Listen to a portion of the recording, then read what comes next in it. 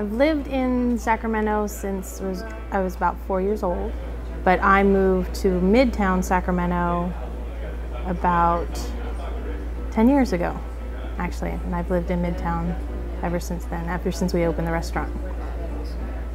I am the managing partner of Michelangelo's restaurant. My mom and I now that own the restaurant, and so we are the bookkeeping, we are the supervisors, we're the managers, the wine buyers, we're the backup cooks, we're the backup dishwashers, we're the maintenance. um, working with your mother is definitely a benefit. Um, she knows me better than anybody, obviously. She knows my strengths and she knows my weaknesses. Your parents are the toughest people to please, or you, you try to please an hardest. And because they do know your your potential, they're constantly trying to get it out of you.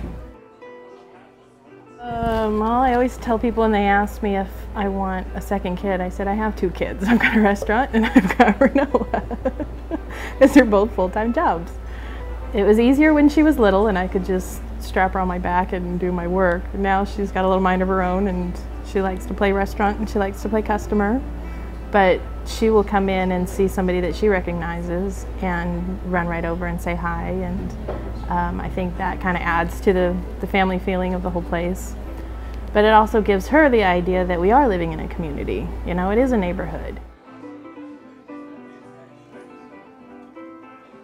There's a lot of aspects to my job that I really feel privileged to have because um, not only do I get to do technical um, you know, systems kind of procedures that I'm used to, but I can also do, um, I do the billing, so that's some numbers. Um, I do wine buying, so that's kind of the creative outlet. I get to do um, like drawing the special boards, designing the menus. So there's a creative aspect to it that balances out the rigid procedures and, you know, this is how to make a business run. Running a gallery and a restaurant is again, back to the technical versus the creative. Um, I don't actually do any of the art, but you know, um, I get to design the cards, I get to hang the show. So mom's the one that picks out the artists. So she has more of the creative eye uh, with the dishes. She's the one that, you know, is the fantastic cook. So I might come up with a recipe, but she makes it fantastic she can, you know, look at a painting and know if it's a good um, technique, you know, the color balance, and I have to categorize it and tag it and price it and sell it and record it and do the paperwork on it. So the running the gallery part is more my thing, whereas my mom has that eye. People ask me, you know, how do you choose a wine? How do, how do you choose an artist? How do you choose I said, well, I come up with an idea, I research, and um, I make it or I taste it, and if I like it, we go with it. It's pretty much that simple.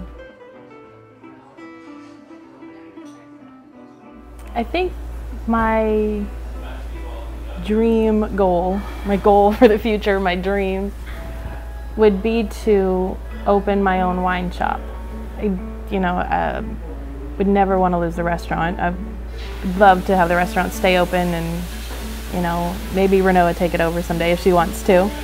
But having a 25th anniversary is now as exciting to me as having our 10th anniversary. You never thought you'd get there, but we did.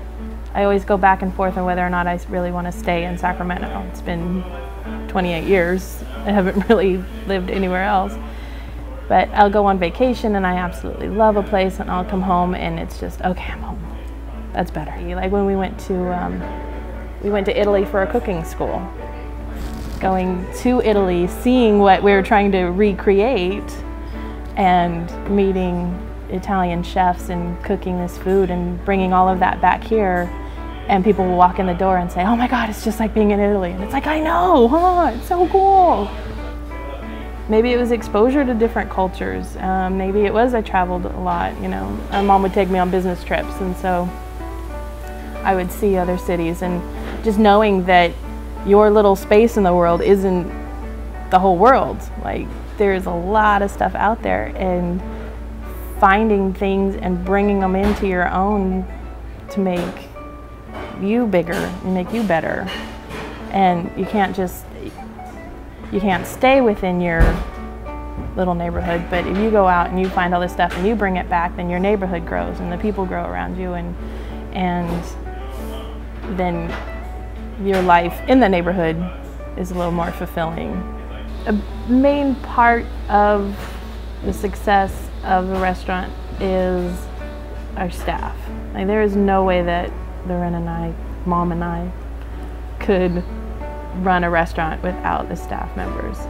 And they're all a part of the community. They all, you know, live around Midtown or in the Sacramento area. So they're going to school, they have their other hopes and their dreams.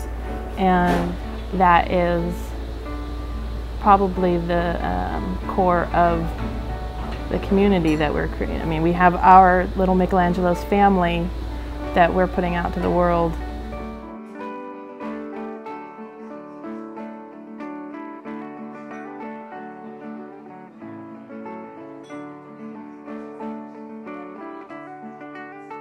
so and and uh, and the food too and you know it's like oh this is how they do it in Italy. It's like I know isn't that great? I got this recipe from a little restaurant on the beach in the Cinque Terre